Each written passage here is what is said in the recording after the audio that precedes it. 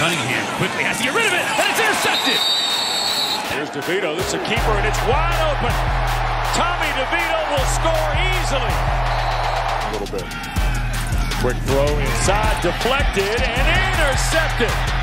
Andre Cisco, first pick of the year, is a house call. Is a ball hawk back there. 12 career interceptions for just the sophomore. Andre Cisco. DeVito looping one for Jackson. Caught it. Jake Tennille. Wide open over the middle is the tight end. He'll score. 3 of 11 on fourth down. Here's Adams at the five. Touchdown. Adams punches it in.